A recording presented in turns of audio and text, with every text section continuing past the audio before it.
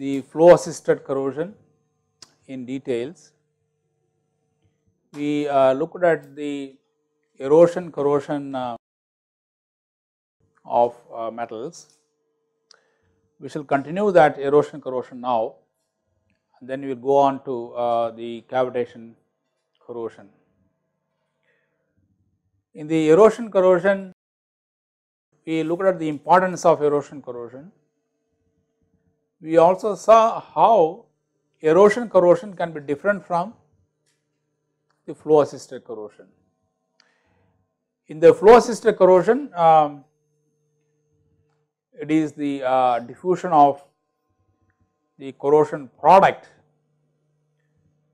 that is the rate determining step. If it diffuses faster then the flow assisted corrosion rate increases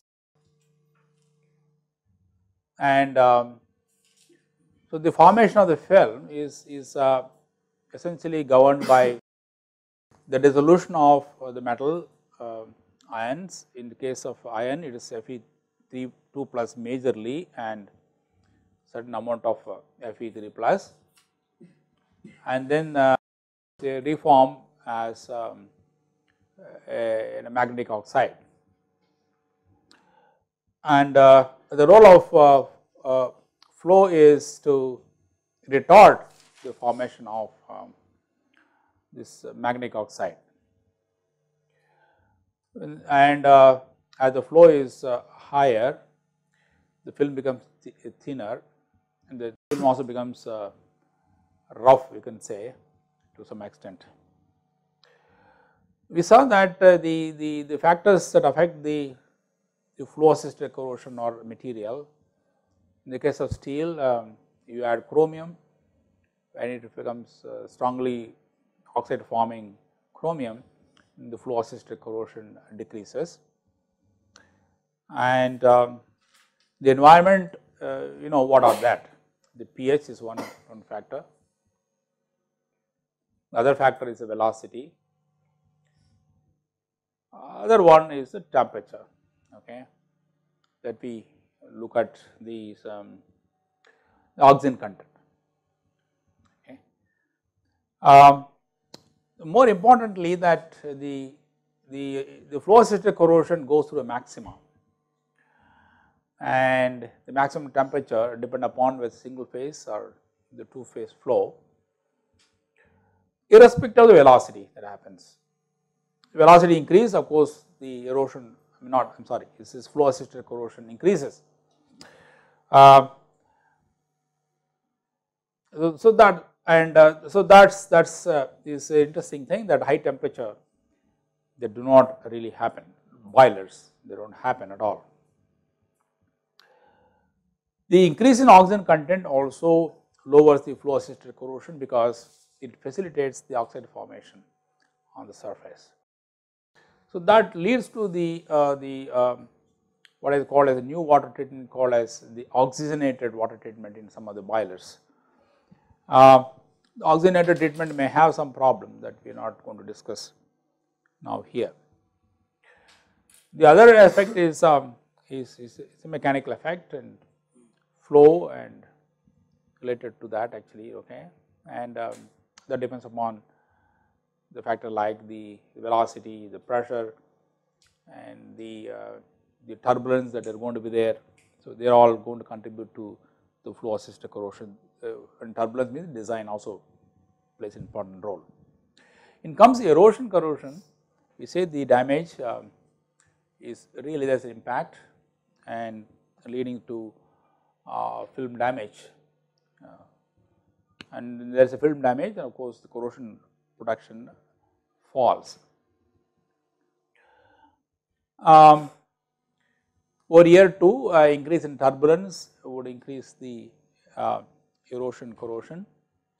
The erosion corrosion would get accelerated when you have solid particle suspensions actually. And uh, so that is a, a key issue in the erosion corrosion of metals. We saw the various factors that uh, affect, we listed rather the various factors affecting the erosion corrosion. and they are film formation, the film stability, other is the velocity um, and uh, the next was on the materials. We saw the film formation and film stability in terms of film characteristics, right. What are the characteristics we talked about? We talked about the hardness, resilience, porosity and you know loss of porosity rather I think, absence of porosity, density okay, and the ability of the film to reform that probably we did not discuss okay. If the fallen film gets damaged, how quickly the film can reform on the surface. The next aspect that we will be discussing now is on the velocity.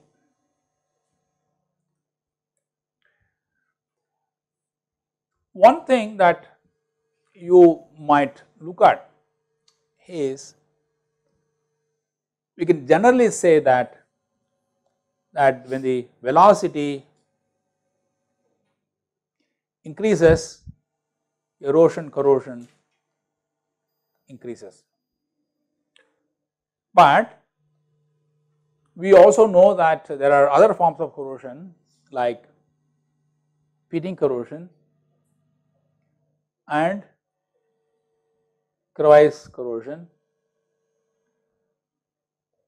They all drop when you have velocities, right. We have seen when we discussed the pitting corrosion and crevice corrosion topics.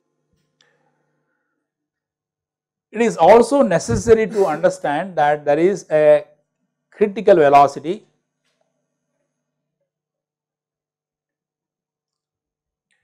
above which the damage is um, becomes significant, right.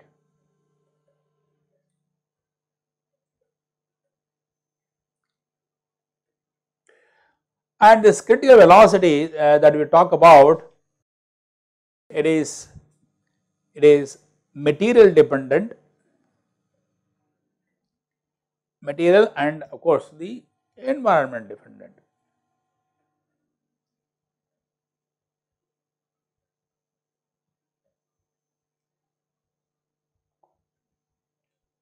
Now, uh, if you want to just uh, have a, a, feel of it, okay, uh, I just give some data here, okay, how the, the, the corrosion rate, the erosion corrosion rate will change uh, depending upon the on the on the materials, okay.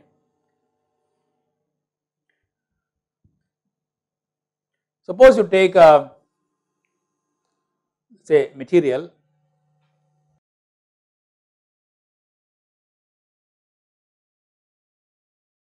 Let us take copper.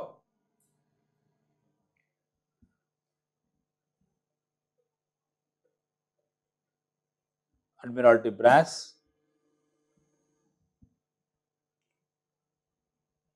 And you can take uh, let us say C70 um, 6 and this is uh, copper nickel right? This is copper tin nickel right? And you also have C 715 because we need to put some zeros here okay? This is um, copper I think 30 nickel. We also have C uh, 7 to 2 okay. And uh, this consists of some alloying elements like you may have some iron, uh, maybe some nickel, uh, no not nickel, iron, some titanium and things like that. If you look at copper, in fact it is very interesting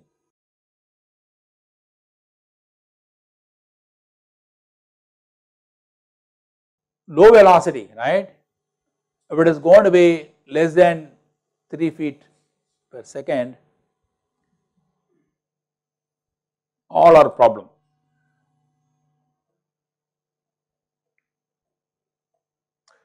You know why?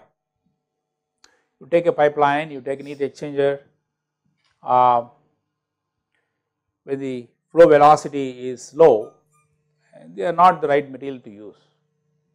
Any idea about it? What do you think? Low velocity is also a problem. See most of the uh, process fluids uh, might have some kind of some kind of particles, you know, second particles, uh, you know, dispersed particles. Sometimes uh, in heat exchangers, if you see water, maybe some foulant, when the velocity is very low, then what happens? They start depositing on the surfaces. It is not erosion corrosion problem, it is another kind of problem that you are going to get, okay. And uh, so you, you, you normally have problems in, in these cases.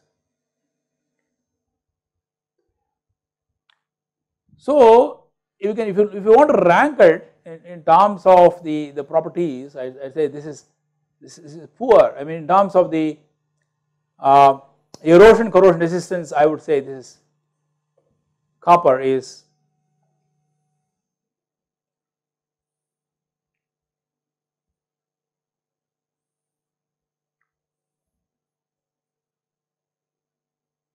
it's going to be here, okay.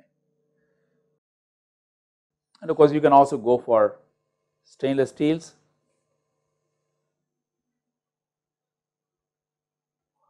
Titanium alloys, okay. So maybe in seawater.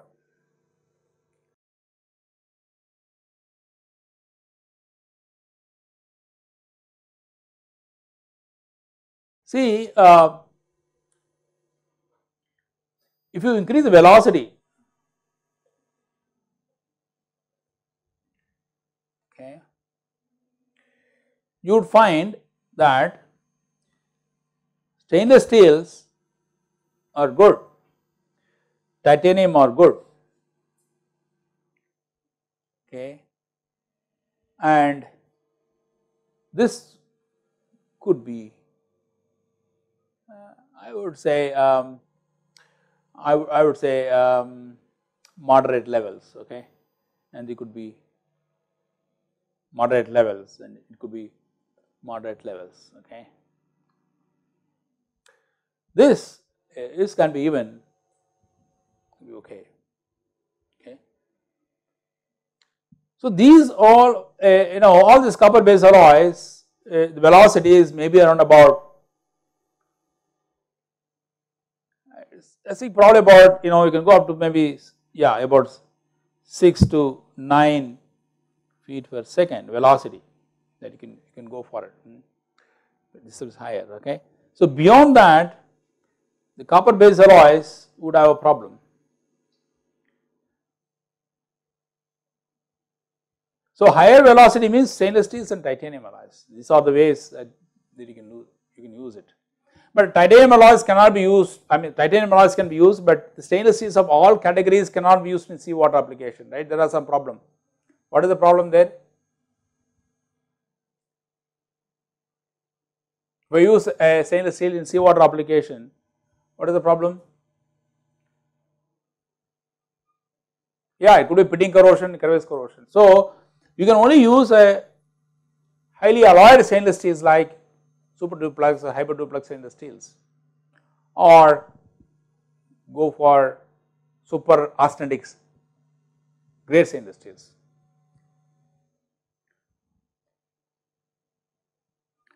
Now, if you look at the copper based alloys compared to the, the stainless steel, stainless steel is much harder when copper based alloys are reasonably softer using before. So, the utility of these materials are you know restricted based on the flow rate applications. If the flow rate is increasing, I think the choices are going to be much limited. Okay, you go for stainless steel or, or, or titanium base base alloys. But the same logic, if you look at if you look at a cast iron and steel, so which one do you think will be better from the erosion corrosion point of view. Okay. So, this is this is better.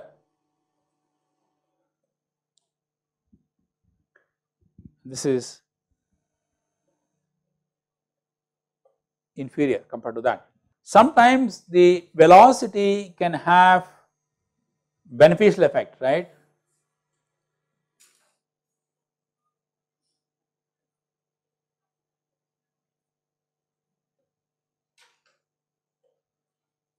This they have reported for um, 347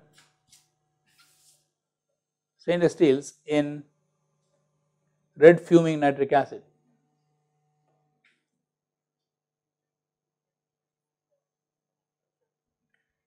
They found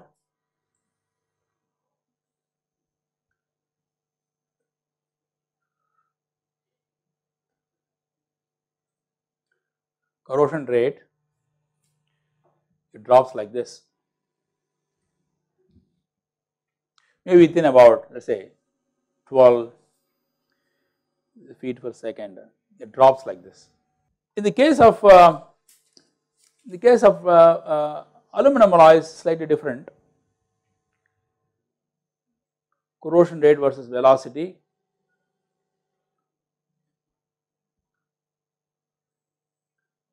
something like this.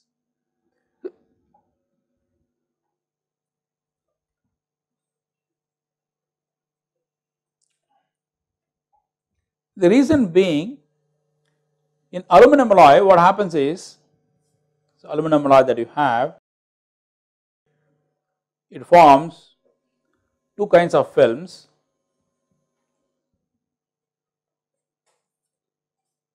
aluminum nitrate and the other film is Al2O3 film. There also nitric acid. Huh?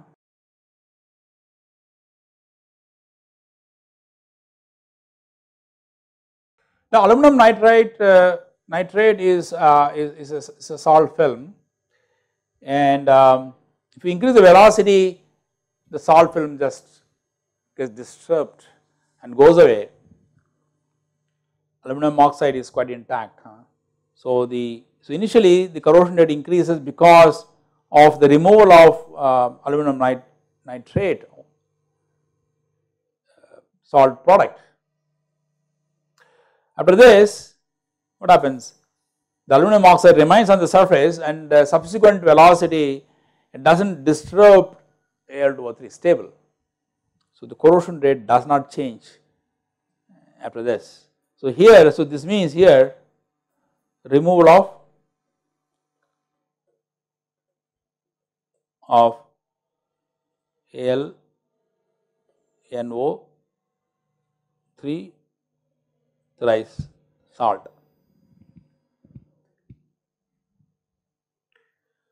The mechanism here is different. The mechanism here, stated mechanism is that the corrosion of steel in nitric acid leads to the formation of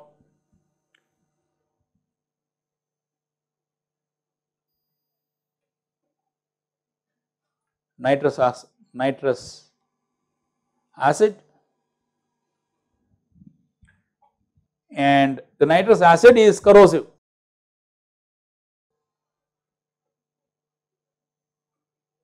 Okay, corrosive. Now what happens? The flow, when there is a flow, what happens now? The nitrous acid is uh, removed from the surface. So, subsequent corrosion by nitrous acid is avoided. So, increase in velocity decreases the corrosion rate because uh, the accumulation of nitrous acid does not occur because of um, the flow, the velocity. The next thing that we talk about is the turbulence.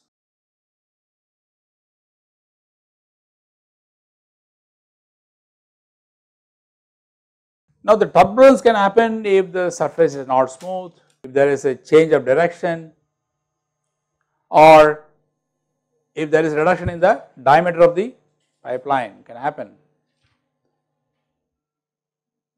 So, higher the turbulence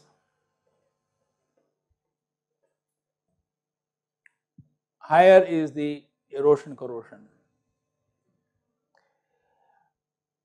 This is very predominant in the heat exchangers.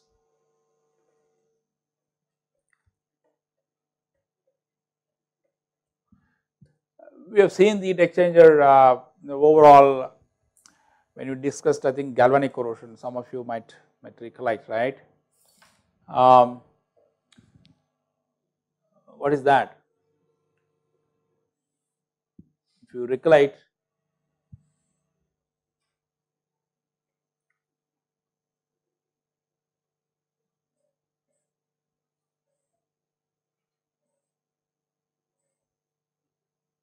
So, you will have lots of tubes right I think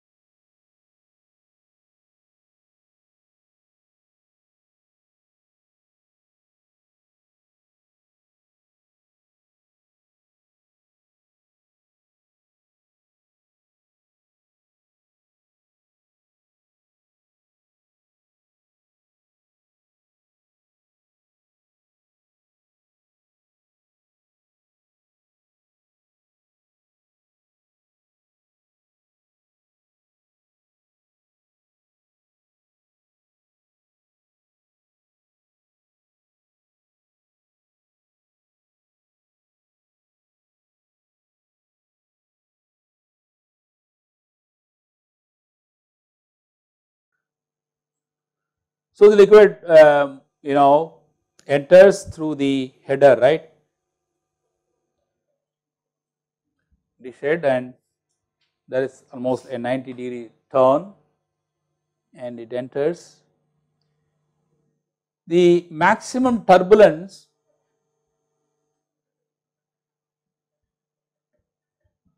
they occur at the inlet right and as it travel towards inside the degree of turbulence decreases. So, the maximum damage in the heat exchanger it occurs at the inlet right. So, that is why it is called as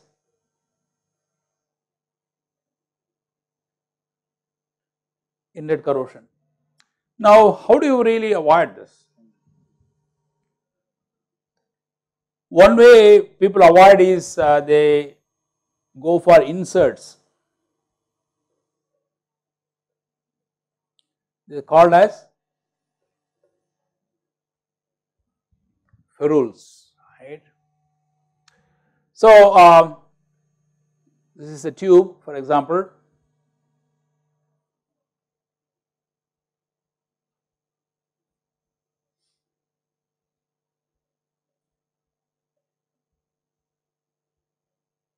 This is the ferrule, okay. And uh, it is not necessarily they do not protrude, they just go inside, you know, these things, okay. I just uh, shown it for convenience. Now, this ferrule, the advantage of this ferrule is that the ferrule can undergo erosion corrosion. When it gets damaged, you can replace it and put another ferrule. So, the light of life of the heat exchanger significantly increases. Okay. But there is still a problem. What is the problem? When the fluid or liquid enters here, there is going to be a small step, huh? this is a small step. So, there can be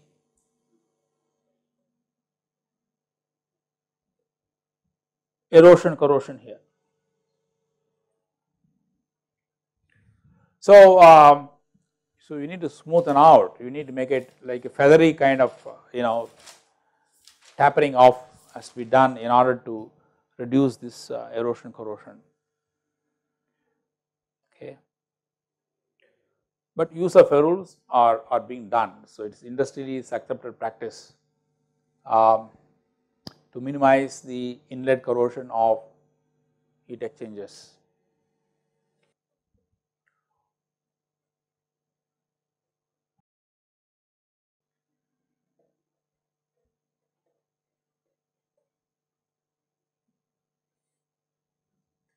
Impingement is there okay. Impingement is, is a direct impact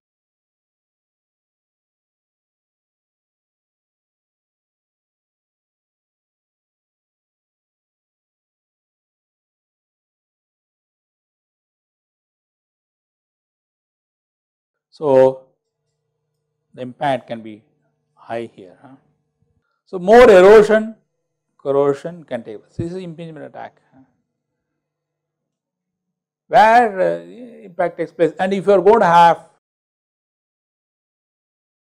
solid particles then the extent of impingement attack becomes quite significant. And these are uh, common it can happen in gas turbines. Okay, it can happen in cyclones, can happen actually, right. So, some of the uh, units uh, they, they, they really feel um, you know in gas turbines where, where do they happen it can happen in the, the turbine blade right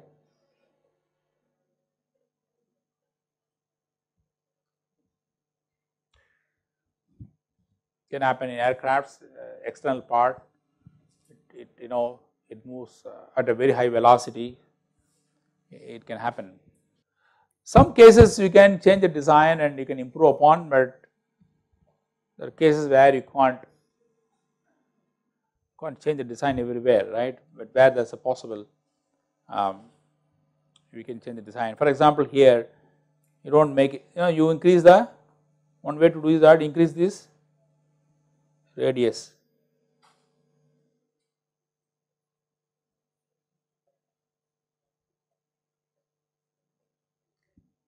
When you increase the radius what happens now? You you will have less impact, less turbulence can, can, can occur. The other way of course to visualize this is that you take this part little heavier right, you make it as thicker where you know for sure that you are going to have impingement taking place.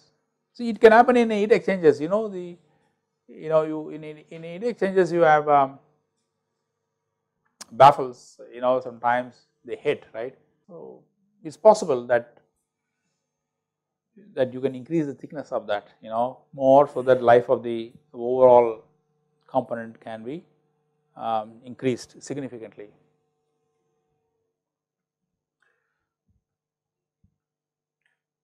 So, when you look at this one thing becomes clear that the design plays a very important role in minimizing the erosion corrosion right. When I say design all that reduces the impact impingement, all that reduces the turbulence can increase the erosion corrosion resistance of the system. So, it is it's, a design parameter as much as material parameter as well as the, the environmental conditions that are operating in a given system. Let us go to materials.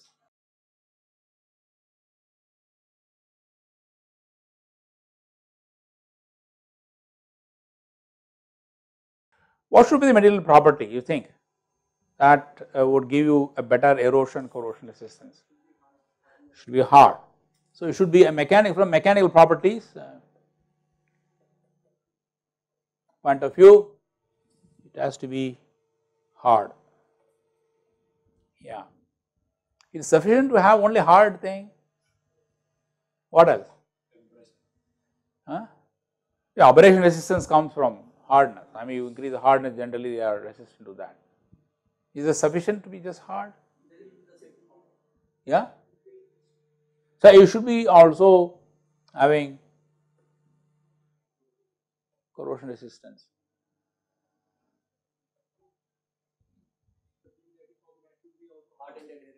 Of course, that's that is involved in the corrosion resistance package, right? So in corrosion resistance, how can you how can you improve the corrosion resistance?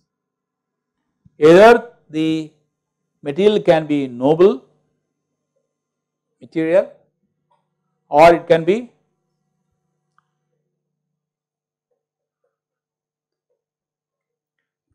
passivating material. These are the criteria, right.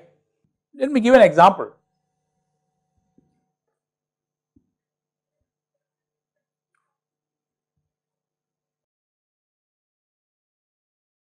Martensitic steel.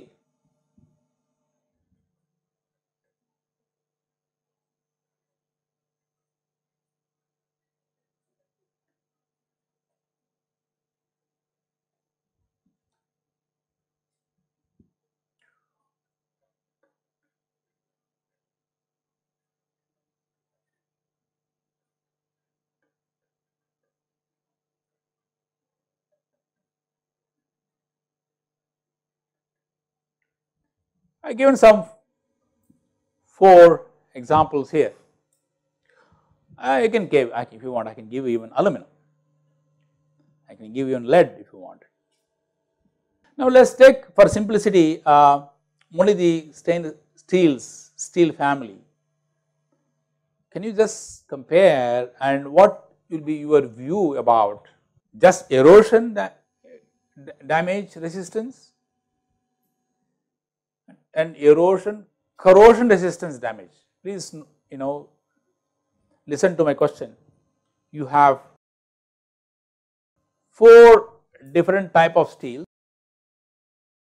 You can have two types of damage mechanism. One is erosion, other is a erosion corrosion. So, what will be in your view? Suppose I take a I take for example simply erosion right. How do you rank this one okay no but yeah you are right then hmm. okay. So when it comes to erosion of course assuming that the hardness is same I mean I am not really going to vary too many things right assume that the hardness of martensitic steel and stainless steel are going to be the same okay. So if you look at erosion both martensitic steel and martensitic stainless steel will be almost the same. When it comes to erosion corrosion, martensitic stainless steel will be better compared to martensitic steel. In fact, it might so happen the ferritic stainless steel may be better than even martensitic, martensitic steel depending upon the corrosive nature of the environment. If the environment is very corrosive, it is possible that erosion corrosion resistance of a ferritic stainless steel could be better than erosion corrosion resistance of a martensitic steel. Why? Because martensitic steel generally are more prone to corrosion compared to a ferritic steel here. But the most vulnerable among all this, among all this, from the erosion point of view, which is the most vulnerable here? 1, 2, 3, 4 ferritic will be more right. Next better will be ferritic stainless steel. Of course martensitic steel and martensitic stainless steel will be almost similar. So I wanted to understand okay the concept of alloy development how it is being done.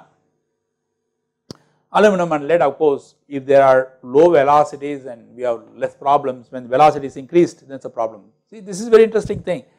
It is not necessary that you can extrapolate at all velocity. At a normal velocity, it is possible that the lead in lead, you know, lead for example in sulfuric acid, dilute sulfuric acid at static conditions at very low flow conditions, lead may be good. Okay. Whereas with a high velocity, the lead is softer, so that fellow will not even withstand that actually. So it is not possible to extrapolate uh, you know at given velocities to higher because at higher velocities the, the mechanism of damage may be different is more mechanical damage dominated corrosion problems than the corrosion dominated problems. At low velocities what is the dominating me mechanism? Low velocities is corrosion. At higher velocities the dominating mechanism will be mechanical factor actually. So it is not possible to just make extrapolations the way you want it actually okay. I, I would like to give an example of how these things really happen in practice. The, one of the industries uh, in India was making um, what is called as hydrogen generation unit. It was it was um, you know they had a license. It is able to uh, have engineering uh, you know capacity. This unit was I think uh, you know commissioned somewhere in the Eastern Europe.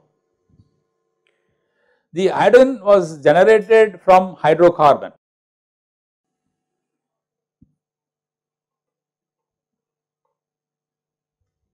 When it when it generated from hydrocarbon, it consisted of hydrogen plus water.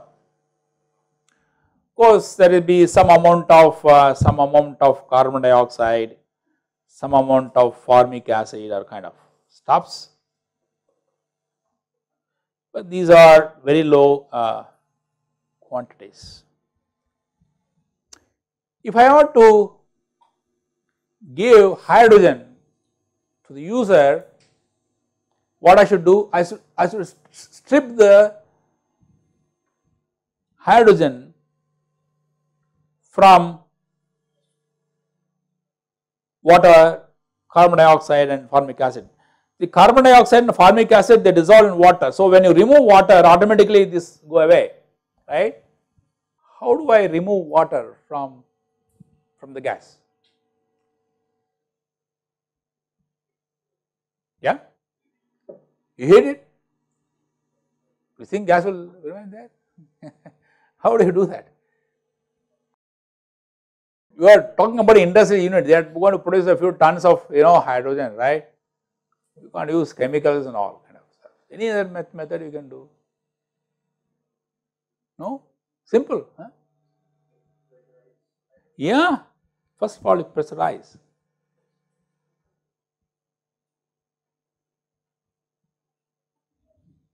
Not sufficient.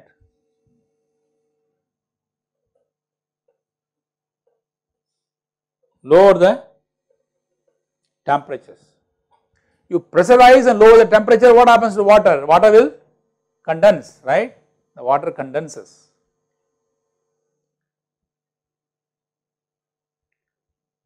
And the air will be free from, a gas will be free from water.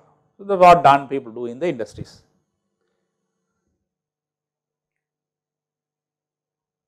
Now, when you pressurize it, you lower the temperature, the water is getting separated.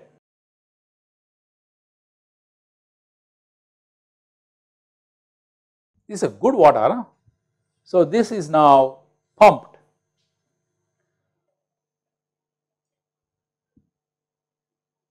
and they call this as process condensate in the industry.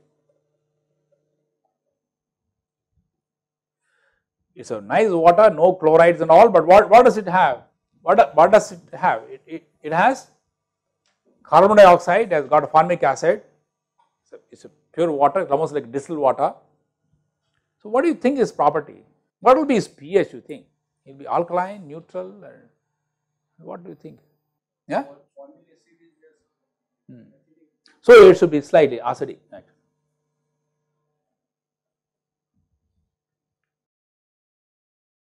Now the whole line is under under under a higher pressure, right? So you compress it, you pump, and then so there is a pump here. It's a pump. So there is a compressor here. Okay. So, this is called as a pump okay. Say condensate pump. And this water is pumped to you can pump it to a to a water treatment unit and then to boiler you can do that okay. Now the interest comes over here. This is the pump.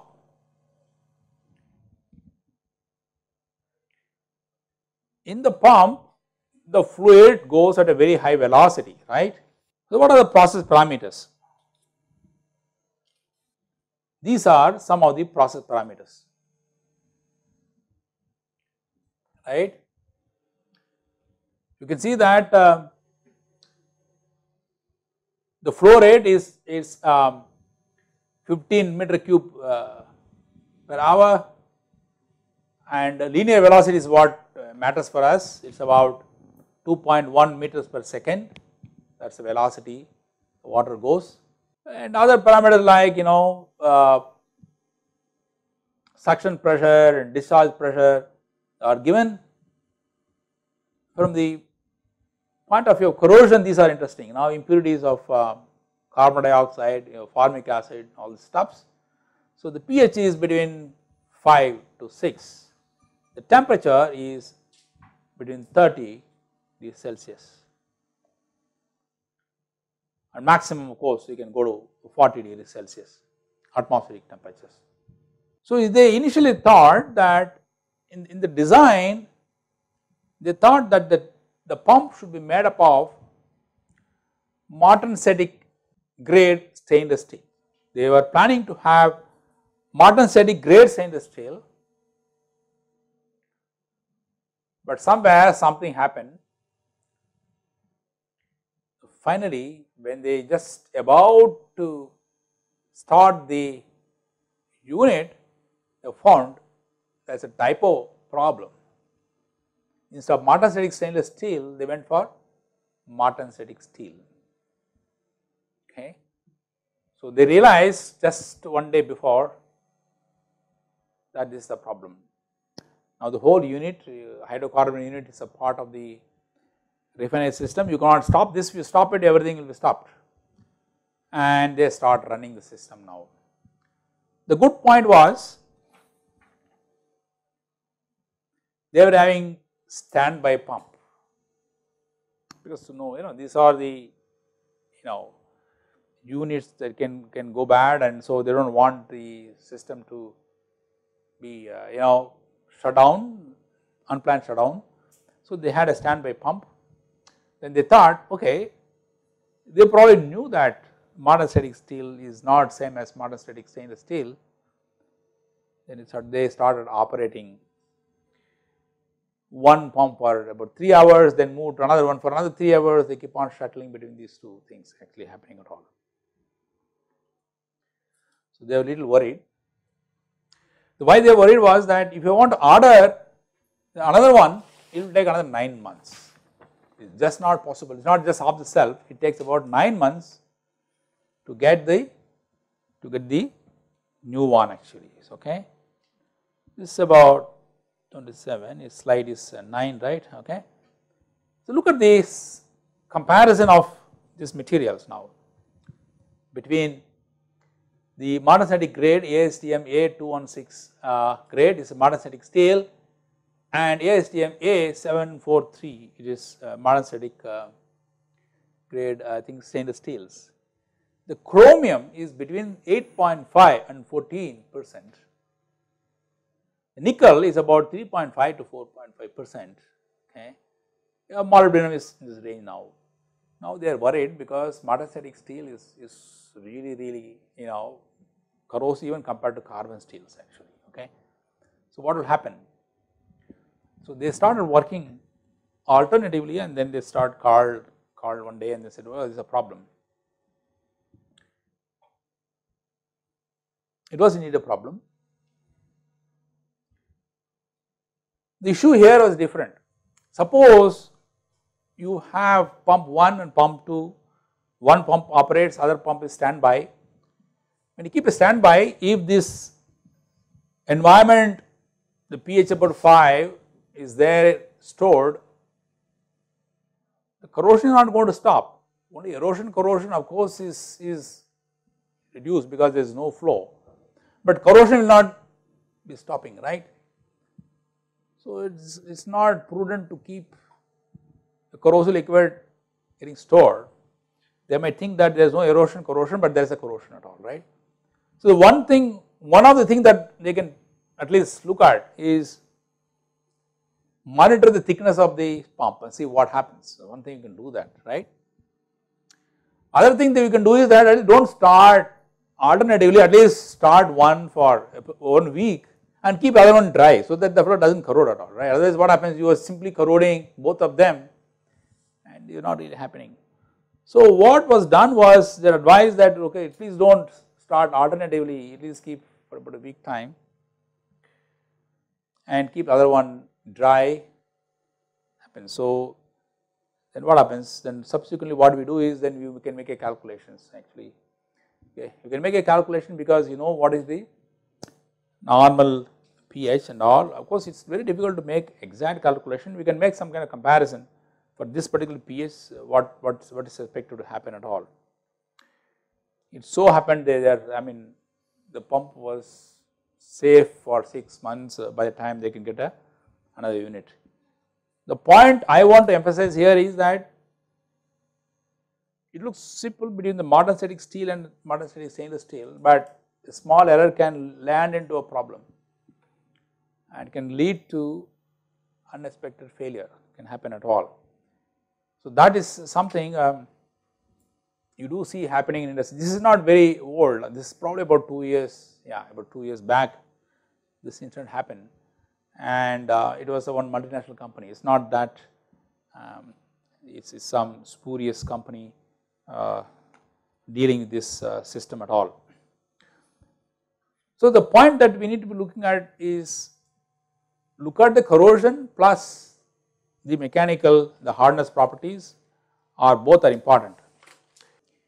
This is the uh, passive current, if I damage here, current will rise, it can go like that or it can go like this. Alloy 1 is going to be your I2, which is better Alloy 2 is better. So the alloy development program will take care of both the electrochemical and uh, the, the metallurgical aspect of, uh, of corrosion okay. Uh, so that uh, we, we do not have erosion corrosion problems. So let us give an example now. Now you have iron chromium nickel chromium alloy. Let us take an example here. Assuming that the hardness properties are same, which of the two will have better erosion corrosion resistance? You got my question? I am not giving other elements present here, I am just giving the base uh, alloy is iron based, it is nickel based I have chromium here and chromium here. Assuming that the hardness is same, which of these two will have better erosion corrosion resistance and why? What do you think? Certainly one will be better than other one. Don't you think so? so what do you think? Chromium. Yeah? Nickel chromium. You, you, maybe you, you, you guessed it right or you or you figured out the science of it okay. So let us look at the science of it. Why do you think nickel chromium is better than iron chromium? Yeah. So relatively nickel is more noble compared to iron it is as simple as that okay. So you have you, you find that this is certainly is, is, is, is better. So those cast irons which are having more nickel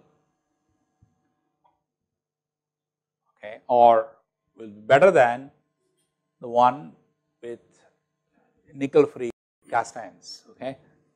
Um, so broadly that you can say the same is true in this case also right? You take copper, zinc and copper nickel right? This will be better.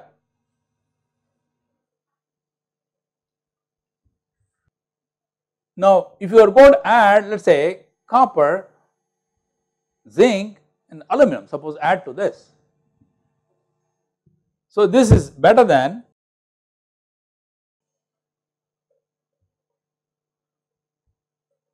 copper zinc. Now, if you take let us take the case of alpha brass and alpha plus beta brass. Which one do you think will be better in terms of erosion corrosion damage? Yeah, alpha plus beta brass alpha alpha beta will be better.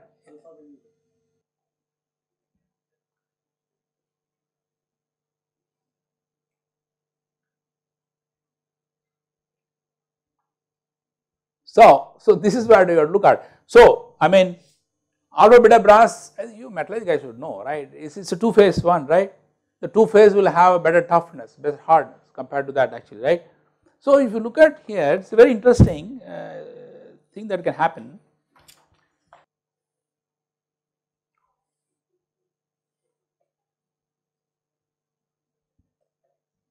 the limited extent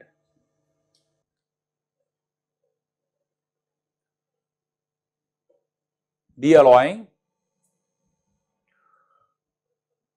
erosion, corrosion resistance.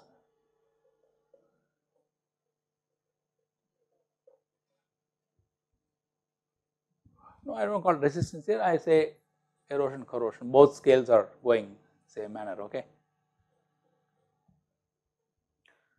Can you plot how this will happen? So, as as DRI is concerned, this guy will go like that, corresponds to this, right. So, what will happen for erosion corrosion? Something like will go, right. Now, depending upon which is the dominant mechanism, right, if there is no flow, very low velocities, probably you, you choose alloys of this, this, this, this here, right. But at high velocities you choose, try to choose alloys somewhere here. Otherwise, instead of de-alloying, they will fail by erosion corrosion damage. The other example is, um, is uh, iron silicon. Actually, you are going to have 14.5 weight percent silicon excellent material for handling sulfuric acid, especially used for impellers. You can't use for a pipeline there, right? You Can you use it for a pipeline? Iron, silicon, alloy of this one. Can you?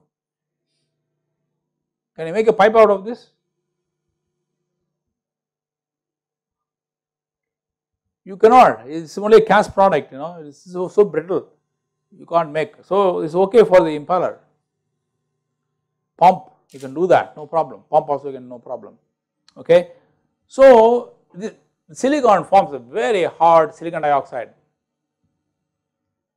protective oxide, hard oxide. So, it is, it is certainly better You can also give an example let us say Durimet is an alloy. Durimet 20 is, is, is uh, it's um, made only for the uh, sulfuric acid applications actually. It consists of 30 nickel 20 chromium 3.5 copper and uh, 2 moly.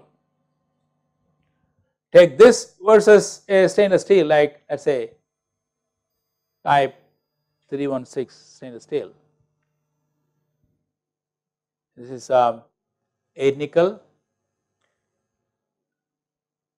18 chromium, actually it is not 8 nickel, it says 10 nickel actually, okay. 10 nickel and you have about to moly. Durimet is far better from the uh, erosion corrosion resistance point of view. It gives nitric acid, it gives in the seawater applications or going to be there actually. So, it is a combination of the hardness plus this is what required in order to uh, have better erosion corrosion resistance. Uh, that is a point try to drive home uh, in the discussion. Okay.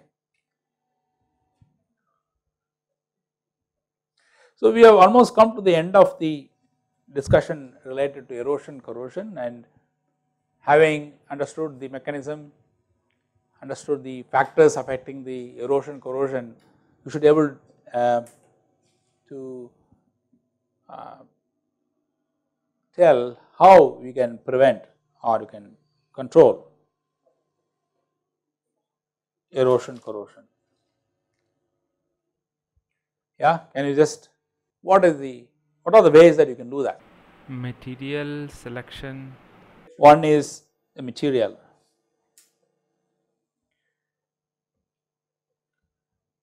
Select a better material that has um, good erosion corrosion resistance that that you know how it comes out. It comes out from the hardness plus the corrosion resistance properties. Okay.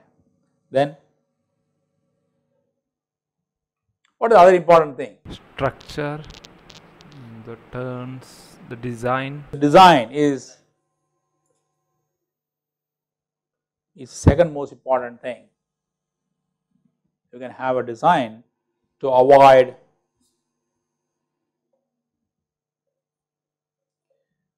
turbulence. You may not avoid completely, but you can minimize it actually. Okay. You know all this involves like you know you talked about radius. Okay, radius of bends to be increased and never 90 degrees that give big impact. In fact, people talk about 20 to 30 degree is what is the radius I mean uh, is the is the angle between the uh, between the the turn you can talk about okay. What else we can we can look at? Filters maybe we can use. Yes, you can use some filters. Even even in the design, also you can talk about using what you can use. You can use you can use uh, extra like baffles. You can use okay to to see that it's not going to impact directly, right? Again, how how do you see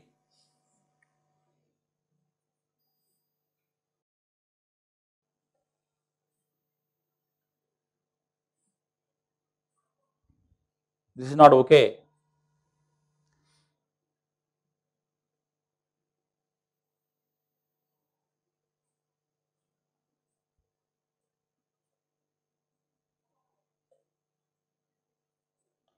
Okay, right? So you see that you know the fluid. You know, so the branching, the way how we want to make the branches, yeah, there. I mean, there are there are only examples. They are not exhaustive by itself look at over design, no, place, place over design where the critical parts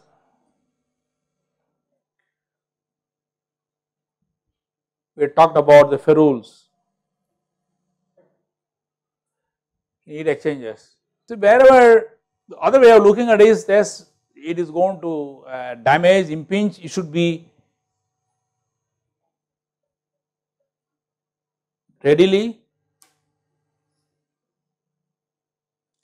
replaceable, you can able to replace it right quickly. So, that also is acceptable.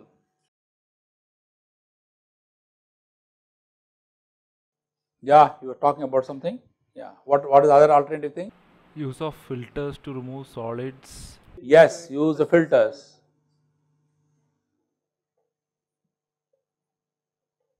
To remove solids.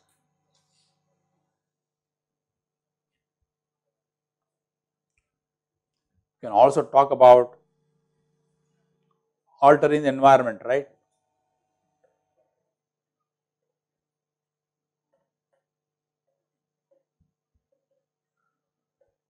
pH control, inhibitors, all these stuffs you can do that. You can talk about hard coatings. You can look at the time tested one what is called cathodic protection where possible.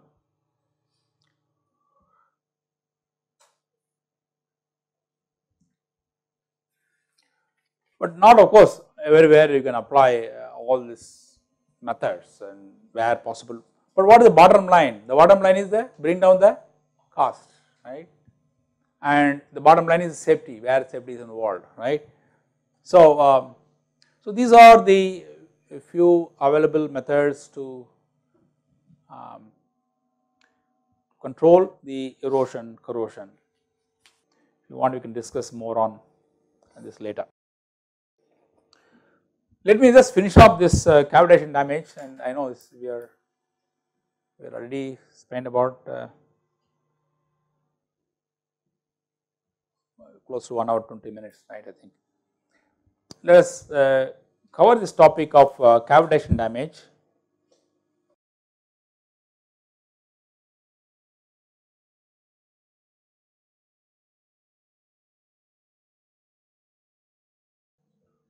Twenty-seven. Now, uh, you know what a cavitation is.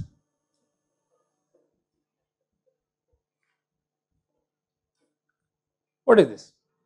There are several persons with a mechanical engineering background, right? You should say quickly. What is cavitation damage? So, um, in cavitation, the pressure is different at different stages, and this causes bubbles. As pressure changes, these bubbles can uh, implode. When they implode, it can damage the surface uh, layers of the turbine or the um, blades uh, and other equipments. Is very correct. Okay. So, the cavitation damage essentially happens because of implosion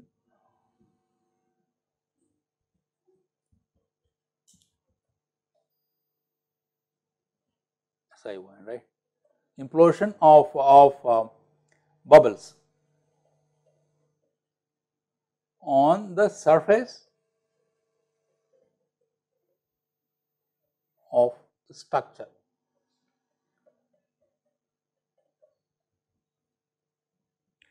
And uh, this transfers huge amount of energy onto the structures. This happens as you said uh, in impellers, in propellers, in turbines, turbines also you compress right, you compress it okay it happens.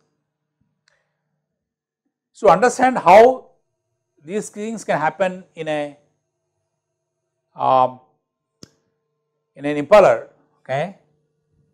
You can consider a situation I am just giving a brief account given in the Fontana book I will not go much details actually okay. You can consider um, a cylinder having water right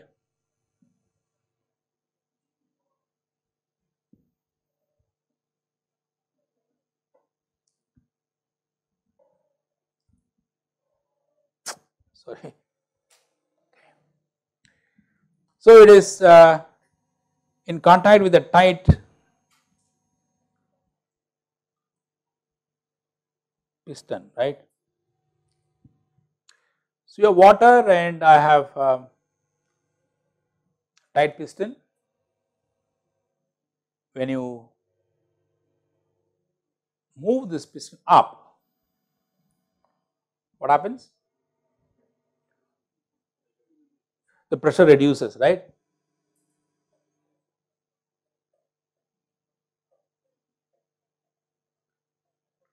Now we know that the water can be boiled even at ambient temperature by lowering the pressures.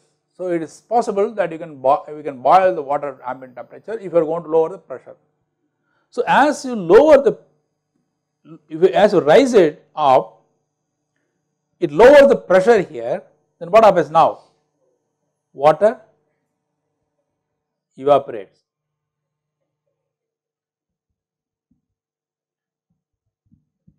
when again we reverse this.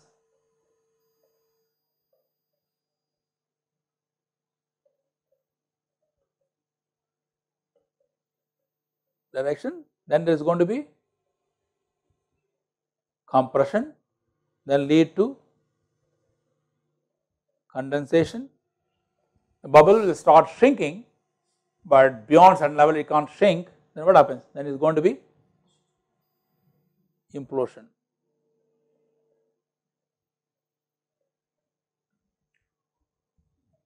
It implodes.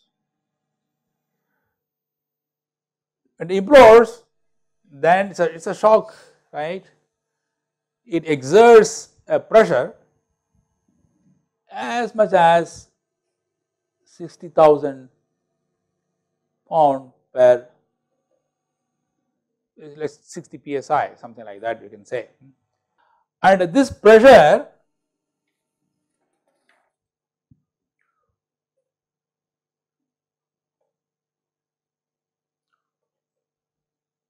pressure exerted can lead to plastic deformation.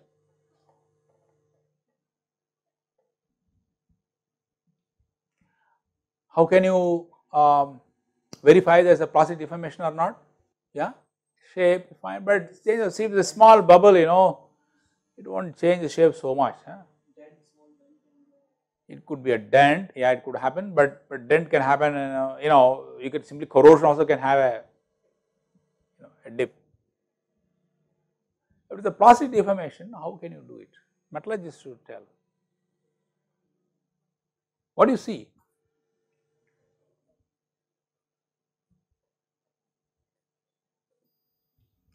You will see a slip step. If you are going to uh, look at this in the microscope and you see nice deformed layers, right, you see slip steps.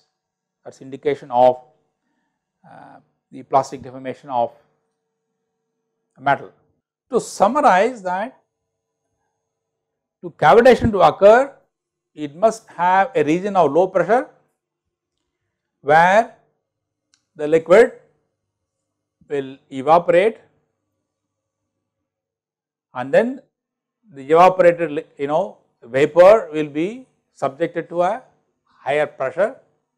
The pressure is sufficient enough to condense and lead to implosion and that leads to the plastic deformation of the material.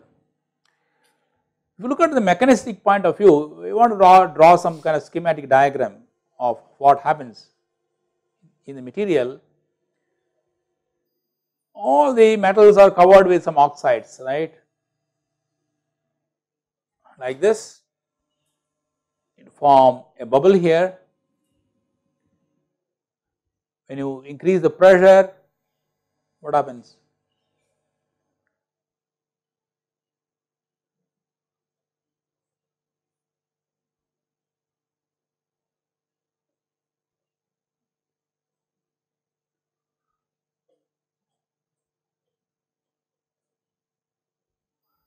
Bubble uh, implodes, this gets damaged. When the area is getting damaged, then it gets corroded again, right?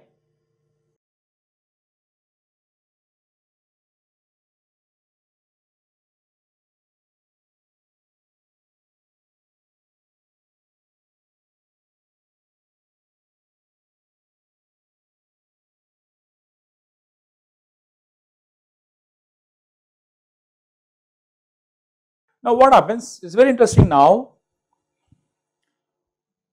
The formation of the bubble over here is much easier, right? Because it gives you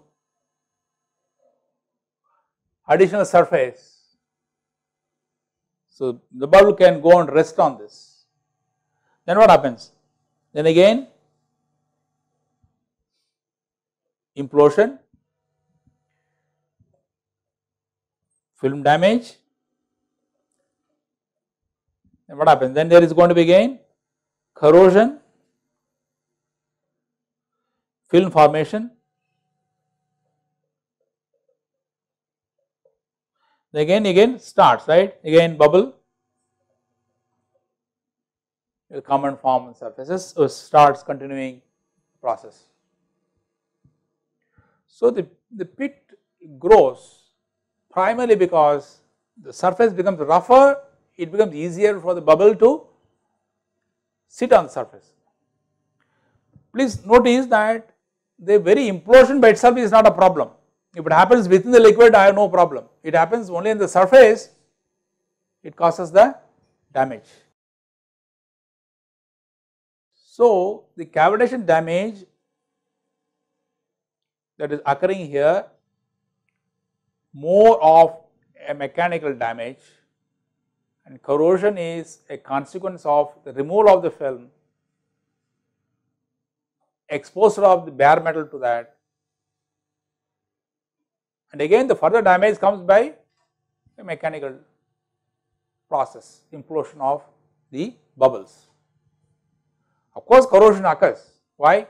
Because the environment interacts and it forms film and so on so forth.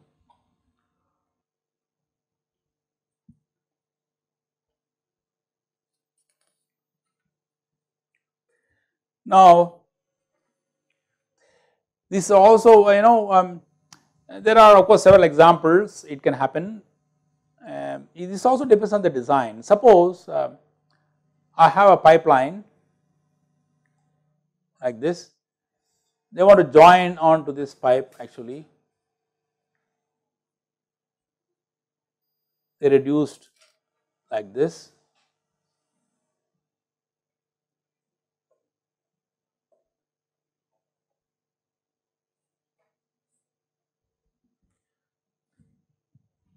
Now look at this design here, is a pipe, the larger diameter, smaller diameter, you weld it like this.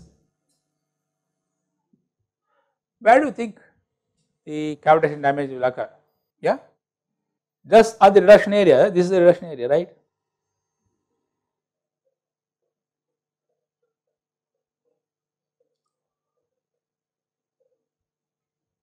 Because the pressure is increasing so, such kind of design you know mistakes you should be avoiding. The impeller you can't do anything right, the, the impeller works on that principle only there is a suction, the pressure is increasing you can't do anything but these designs are you can be avoiding it actually. I talked to this many people who do this, but surely this is the place where you have problems uh, for sure. So, how do I control the control of this. One of course is hard materials,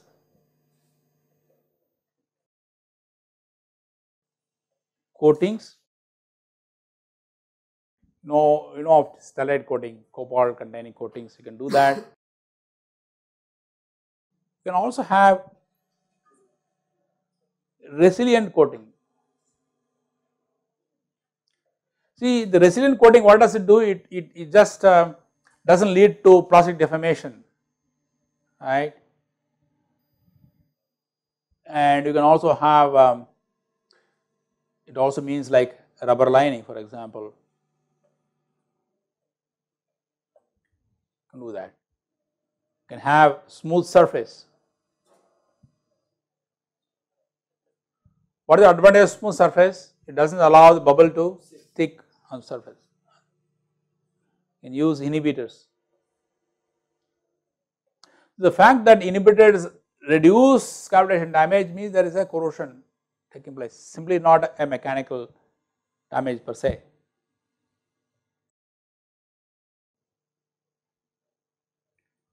Okay, so um, that should uh, come to the end of discussion.